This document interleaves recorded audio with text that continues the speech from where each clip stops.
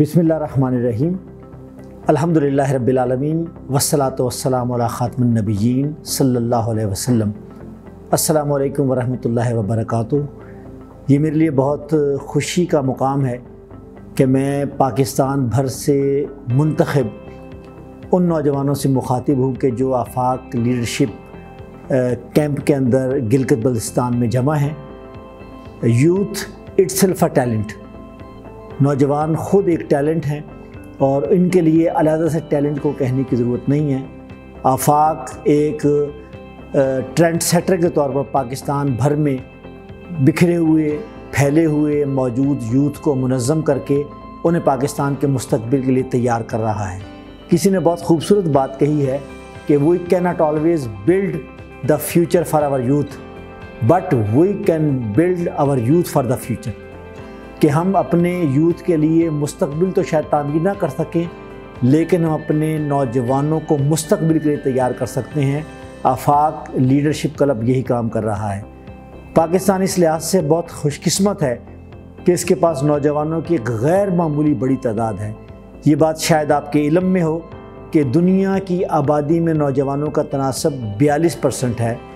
جبکہ پاکستان میں آبادی کے تناسب سے نوجوان چونسٹھ فیصد کی تعداد میں ہے اور یہ تیس سال کی عمر سے کم۔ گویا پاکستان ایک یوتھ نیشن ہے، ایک نوجوان نیشن ہے جس کی آپ نمائندگی کرتے ہیں۔ آپ اگرچہ گنتی میں ایک سو کے لگ بھگ ہوں گے، لیکن میرا یہ خیال ہے کہ اس میں پاکستان کے ہر علاقے اور ہر خطے کا نوجوان موجود ہے۔ اور ایک اور بڑی بات جو اس وقت میں آپ سے شیئر کرنا چاہوں گا کہ پچھلے دنوں ایک سروے میری نظر سے گزرا کہ جس میں یہ بتایا گا کہ پاکستان کا باسٹھ فیصد نوجوان وہ قوم کے ساتھ ساتھ نظریوں کو بھی اہم سمجھتا ہے۔ یہ دونوں چیزیں جب ملتی ہیں تو قومیں ترقی کرتی ہیں۔ اس بات کا مجھے اعتراف ہے کہ پاکستان میں نوجوانوں کے لیے اپرچونٹیز اور اقدامات کی کمی ہے دنیا کے ایک سو پچانوے ممالک میں پاکستان ایک سو اکاسیویں نمبر پر ہے۔ نوجوانوں کے فلاح و بہبود کے منصوبوں پر خرچ کرنے کے اعتبار سے۔ لیکن کیا ہم اپنے نوجوانوں کو ایسے ہی چھوڑ دیں؟ کیا ہم صرف ریاست اور حکومت کا انتظار کریں کہ وہ نوجوانوں کے لیے کوئی اسٹریٹجی کوئی پالیسی اور کوئی خوش نما اقدامات لے کر آئے گا؟ نہیں۔ دنیا بھر کی طرح پاکستان میں بھی یوتھ گورنمنٹ کا انتظار نہیں کر رہی۔ آفاق اور آفاق جیسے بے شمار ادارے ہیں کہ جو یوتھ کو کیٹر کر رہے ہیں، مخاطب کر رہے ہیں، منظم کر رہے ہیں اور ان کو پرزم بنا رہے ہیں، اس وقت ضرورت اس بات کی ہے کہ ہم اپنے نوجوانوں کو وہ نظریہ اور اس کے ساتھ ساتھ جو ہے ہم ان کو اپنے قوم کے ساتھ اس کو اکٹھا کر سکیں۔ اس لیے اس وقت پاکستانی یوتھ کی جو مسائل ہیں، آپ کو بحثت سوشل لیڈر اپنے آپ کو منوانا ہے۔ اس وقت ایشو کیا ہے؟ بظاہر ہمارا یوتھ سمارٹ ہے، مگر وہ ستی سوچ کا مالک ہے۔ ہمیں اس کی سوچ کو گہرائی میں لے کر جانا ہے۔ He is a user not producer ہمیں اپنے یوتھ کو یوزر بنانا ہے۔ بظاہر ہمارا یوتھ سوشل میڈیا پر متحرک ہے، ایک بڑی تعداد سوشل میڈیا پر جو ہے کہ سرگرمی کر رہی ہے، لیکن وہ ایکٹیویٹی وداؤٹ ایکٹیو ہے وداؤٹ ایکٹیویٹی کے۔